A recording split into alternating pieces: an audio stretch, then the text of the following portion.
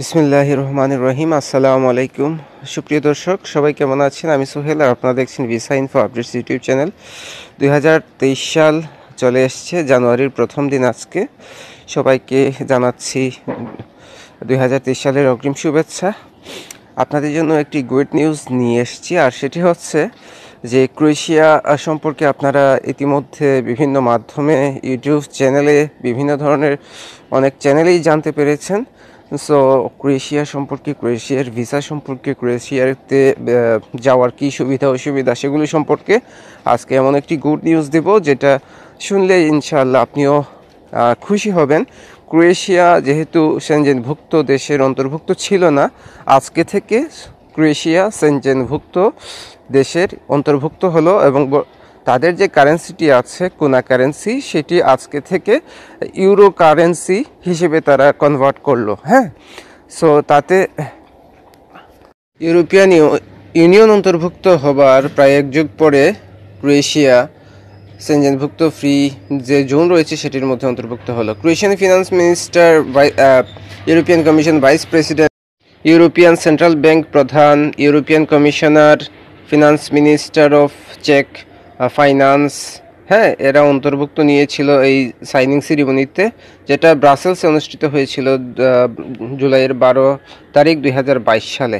So আজকে Croatia ইউরোপের সেনজেনভুক্ত free যে দেশগুলো রয়েছে পাসপোর্ট ফ্রি সেনজেন জোনে অন্তর্ভুক্ত হলো এই জন্য তাদেরকে সাধুবাদ জানাচ্ছি। জানুয়ারি এক তারিখ মধ্যরাত দুই সালে বালকান নেশন অফ চার মিলিয়ন লোক বা মানুষরা এটি উদযাপন করেছে যদিও কোনা কারেন্সি এবং ইউরোজোনের ইউরো কারেন্সি নিয়ে তাদের দেশের বিভিন্ন মানুষের মতে বিভিন্ন মতামত রয়েছে।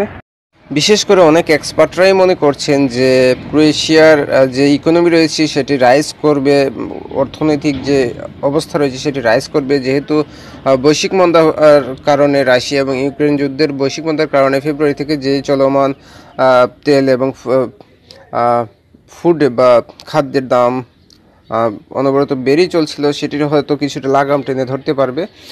সাতাশতম দেশ হিসেবে পাসপোর্ট ফিসেন যেন অন্তর্ভুক্ত হয়েছে এই ক্রোয়েশিয়া।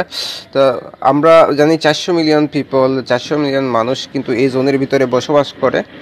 এতে করে সুবিধা হবে যারা ভিন্ন দেশে আছেন, বাংলাদেশি, পাকিস্তানি, ইন্ডিয়ান, তারা সুবিধা ভোগ করবে। ক্রোয়েশিয়া যদি যেহেতু সেনজেনভুক্ত দেশ হয়ে গেছে, অনেকে যারা ক্রোয়েশিয়াতে বসবাস করছে, তারা সেই সুবিধাটি পাবে। তবে ক্রোয়েশিয়ার যে জনগণ, তাদের ভিন্ন মত রয়েছে মিক্স ফিলিংস রয়েছে এই ব্যাপারে। তারা ভাবছে, তাদের যে বর্তমান কারেন্সি সেটি ভালো ছিল।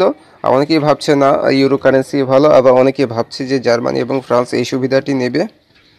তেষট্টি বছর বয়সী ড্রাজেন গোলমার্ক মনে করেন যে কোনা কারেন্সির জন্য তারা কাঁদবে। তিনি মূলত একজন পেনশনার তার স্ত্রী মনে করেন যে না ইউরো কারেন্সিটা ভ্যালুয়েবল হবে। সো এটি এই এই হচ্ছে যে আল জাজিরার আল জাজিরার থেকে পাওয়া একদম সলিড যে নিউজটি হচ্ছে যে ক্রোয়েশিয়া ইউরোজোনের মধ্যে ফ্রি সেনজেনভুক্ত পাসপোর্টের মধ্যে অন্তর্ভুক্ত হলো। সো যারা ক্রোয়েশিয়াতে আছেন, তারা তো সুবিধাটি পাবেনই। আর যারা ভাবছেন যে ক্রোয়েশিয়াতে যাবেন, ইনশাল্লাহ সেখানে আপনারা